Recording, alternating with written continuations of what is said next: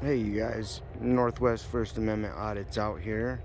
We're down at the Coeur d'Alene Resort in Coeur d'Alene, Idaho.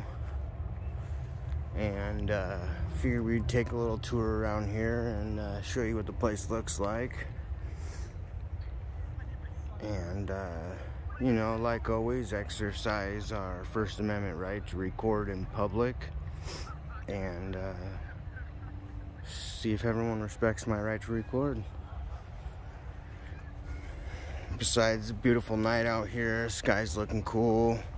There's the resort back there in the background you can see.